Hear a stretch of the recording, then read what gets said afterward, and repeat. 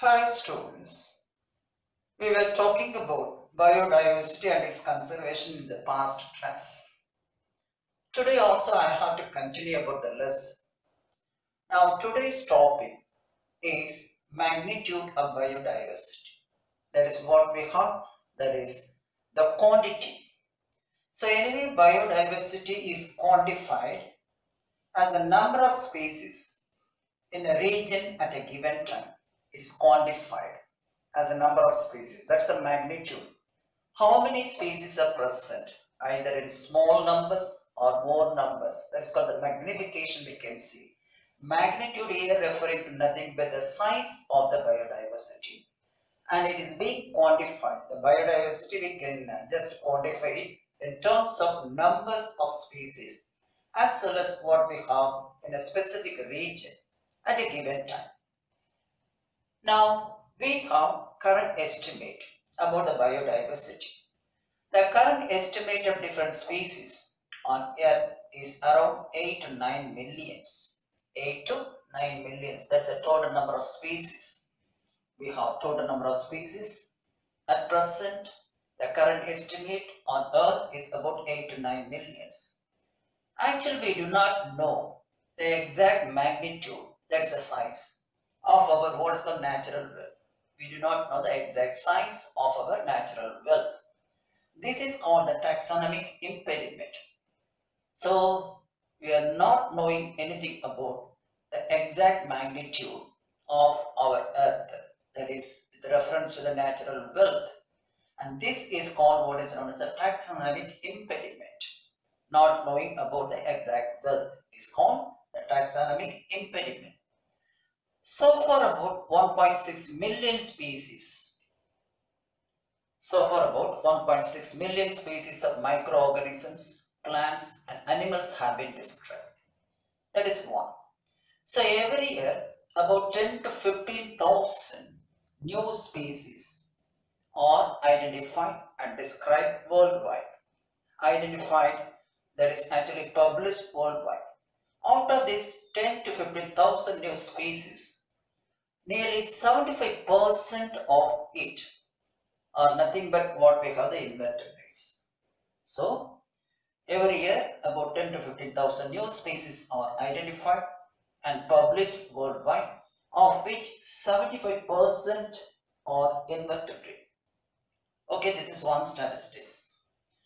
Normally, we knew only few, just number of species only described. The number of undescribed species is much higher. We knew only a few things, a few species, not much species, the natural wealth found on this earth. That's why we can say the number of undescribed species is normally much higher. This is another one. Okay, we have to go further. You know that one, India is rich in biodiversity. Why? Because of its unique biogeographical what is called location, the diversified climatic conditions, and enormous ecodiversity and geodiversity. Enormous ecodiversity and geodiversity. Now, normally, India is rich in terms of biological diversity. What's the reason for that one? So, India is rich in terms of biological diversity. What are the reasons? India has biogeographical location, a suitable biogeographical location. So, it is unique for India. And also, it has diversified climatic conditions. And also, it shows enormous co-diversity, that is eco-diversity and geodiversity. It shows enormous eco-diversity and geodiversity. These are all the reasons why India is rich in terms of biodiversity. These are all the unique features of what we call India for having richest source of biodiversity. Now we have a classification proposed by the World Organization. Now according to World Biogeographic Classification, a definite, a stable classification has been made that is called World Biogeographic Classification. India represents two major realms and three biomes. Two major realms and three biomes. The two major realms are one Palaearctic realm. Number two, Indo-Malayan realm. These are the two major realms. What are the three biomes that what we have in India? Number one, tropical humid forests. Number two, tropical dry or deciduous forests. Number three, warm deserts or semi-deserts. So this is what we have the classification based on World Biogeographic Classification. Now let's continue. With only about 2.4% of the world's total land surface, India is known to have nearly 8% of the species of animals that the world holds, that the world has. This percentage of 8 accounts for about 92,000 just known species. 92,000 known species, it is equal to 8% of what we have the species of animals or the total population in the world.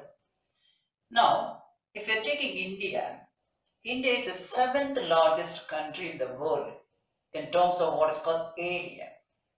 So it has a variety of ecosystems and biomes with the habitats.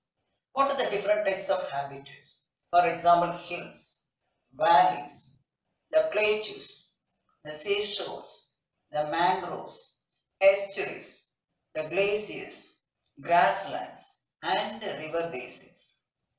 Now, this one also reflects different kinds of climates, precipitation, temperature distribution, river flow and soil. So this is being normally exhibited by India. India is one of the 17 mega biodiversity centers in the world. That means we have total in the world 17 mega biodiversity centers are available with nearly 10 biogeographical zones and each one is with a characteristic habitat and then biota. Each what we call the biogeographical zone as a characteristic habitat and biota.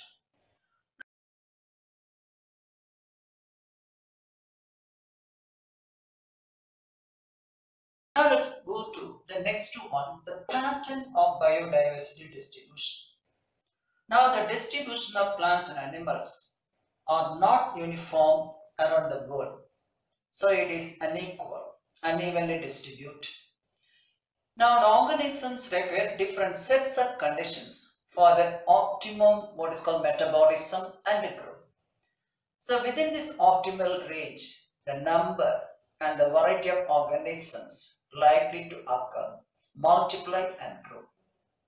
Now the habitat conditions are determined by mainly two factors. One, the latitudes and altitudes. Habitat conditions are determined by two factors. One, latitudes and then altitudes. Now we have to go for the next one, latitude and altitude gradients. That is the range from poles to tropic region, how many species are present, what is happening from poles to tropics, from poles to temperate and also to tropic region. So we have to see the biodiversity whether it is increasing from poles to tropics or from tropics to poles. Let's see. We already seen the conditions of habitat are determined by latitudes and then altitudes. Okay, now let's see the latitudinal and altitudinal gradients. Now, what are the factors that determine biodiversity distribution pattern? What are the factors that decide biodiversity distribution pattern? Number one, temperature. Number two, precipitation. Number three, distance from the equator. That is called latitudinal gradient. Distance from the equator, that is called latitudinal gradient. Then altitudes from the mean sea level altitudes from the mean sea level that is called altitudinal gradient. These are all the factors which decide and determine what we have biodiversity distribution pattern. Now, if you are taking this, just you see altitudinal and then latitudinal gradients. Out of these two, which is more important? The more important one is the latitudinal gradient. The most important pattern of biodiversity is normally latitudinal gradient in biodiversity or simply we can say in diversity. So the latitudinal pattern of biodiversity is the most important one in diversity. So the most important pattern of biodiversity is the latitudinal gradient just from poles to tropics. As the gradient means increase in number from poles to tropics, decrease in number from tropics to poles. That is called the gradient distribution. Number of individuals, variability among living organisms, what we can say the diversity. Now, what's the meaning for that one? So this means that there is an increasing in diversity. I mentioned from the poles to the equator. So there is increase in what is called diversity from the poles to the tropics or we can say the equator. So increasing diversity occurs from the poles, north poles or south poles to what we have actually that is mostly north poles. Now diversity increases as the one moves from what we have the poles towards the temperate zones and reaches the maximum at the tropics. So diversity increases from what is called actually one moving towards the temperate zones and reaches the maximum at the tropics. The meaning for that one, the poles have less number of species. We'll have the example. Then we have the temperate zones, they have somewhat increased number of species. And we have the maximum number of species or diversity one in the tropics. That's the meaning for that one. So the tropics harbor just accommodate harbor means accommodate more biodiversity than what we call the temperate or polar regions. It harbors means it accommodates more biodiversity than what we call the temperate or polar regions, especially between what we have the latitudes of 23.5 degree north and 23.5 degrees south. That is normally Tropic of Cancer to Tropic of Capricorn, from Tropic of Cancer to Tropic of Capricorn. So the biodiversity normally increases. This is because of various factors. We'll see further on the environmental conditions, we have the availability of resources, etc. Let's see later now. So tropics accommodates harboring more biodiversity than temperate or polar regions comparison. So we have less number of species in poles, somewhat more number of species in the temperate regions and we have maximum number of species at the tropics. So it is ranging from 23.5 degree north and 23.5 degrees south that is from Tropic of Cancer to Tropic of Capricorn. Let's see the number of species in the polar regions, in the temperate zones and also in the case of tropics. The number of species of trees increases from what we have the poles, then to the temperate zones and then to what is called the tropical regions. Now we are talking about the latitudinal and altitudinal gradients. I already mentioned about the most important diversity is the latitudinal gradient. In that one, the harsh conditions exist normally in temperate areas but we have very harsh conditions exist throughout the year and most of the year, particularly in the case, in the case of polar regions. For comparing the climatic conditions, we have harsh conditions exist in temperate areas during the cold seasons only. But in the case of that is what we have polar regions, the very harsh climate conditions prevail most of the year. That's the main difference. Sir. Climate is very harsh most of the year in polar regions and just actually during winter or during cold seasons we have that is a harsh climate exists. It's not very harsh, harsh climate. Now we have to compare.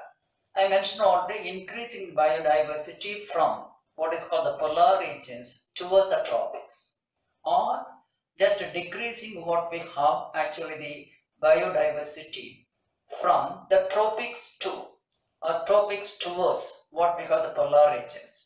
Now example number one for hot climate or tropic regions.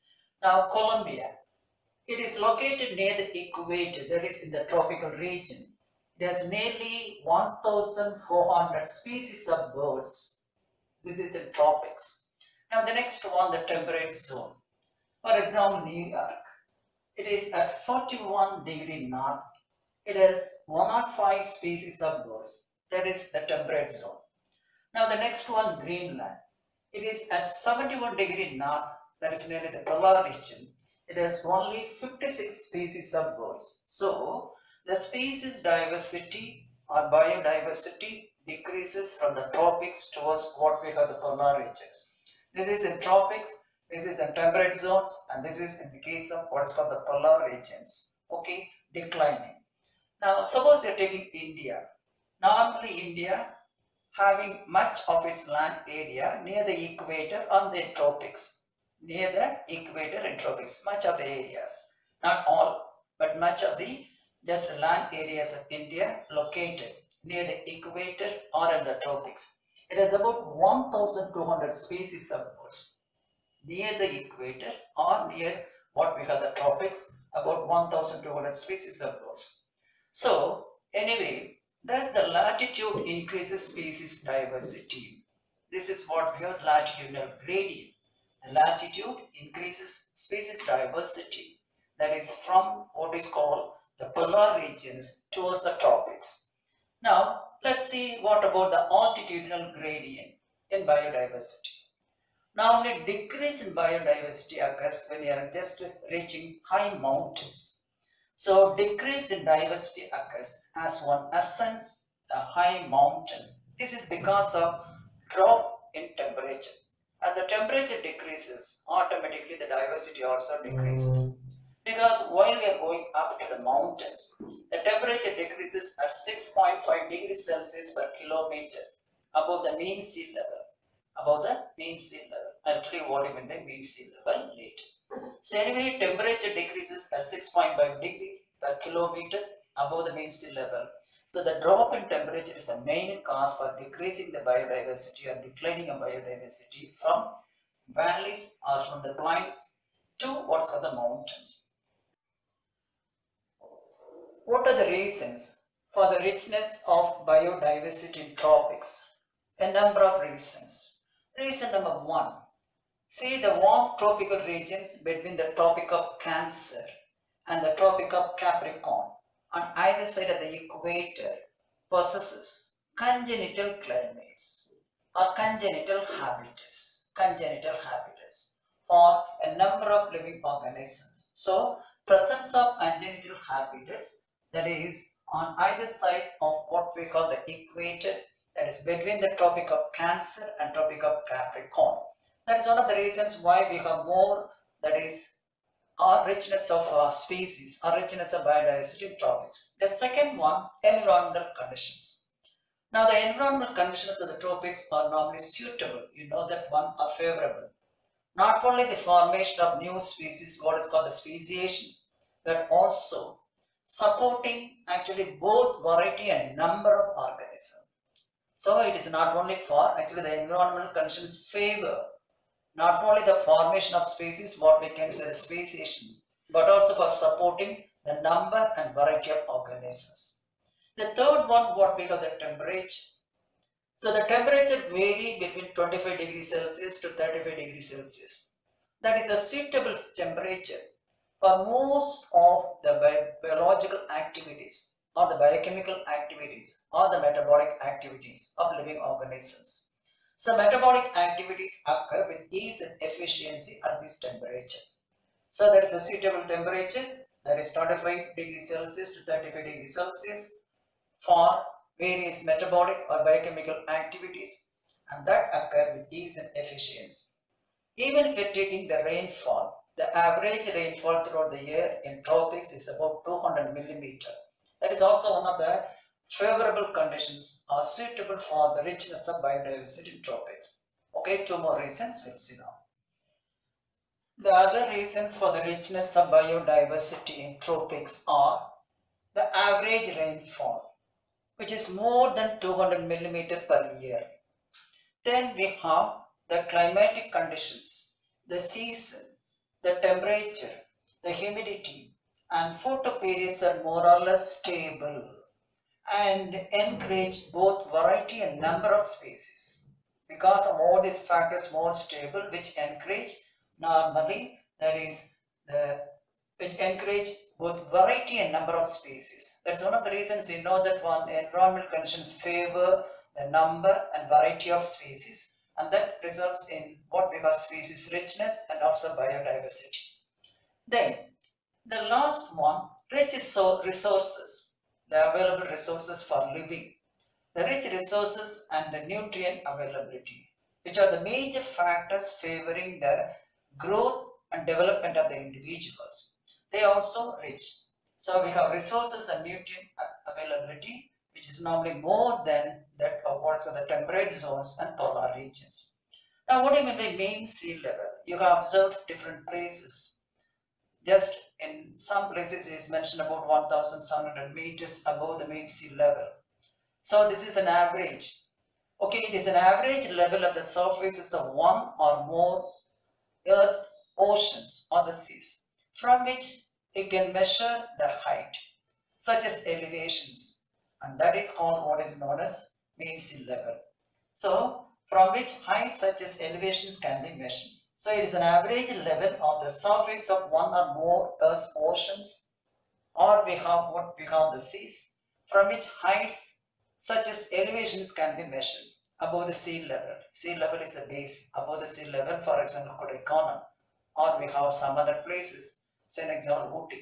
So, what is the elevation above the mean sea level? So, sea level above which only we have the land surface. That's why the mean sea level, mean sea level is considered as an what we have unit to find out the elevations.